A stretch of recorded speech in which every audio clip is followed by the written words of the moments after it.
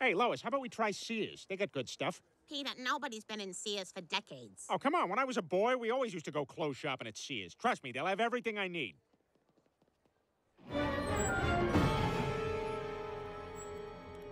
What the hell happened here? Look out! He wants to know who you are.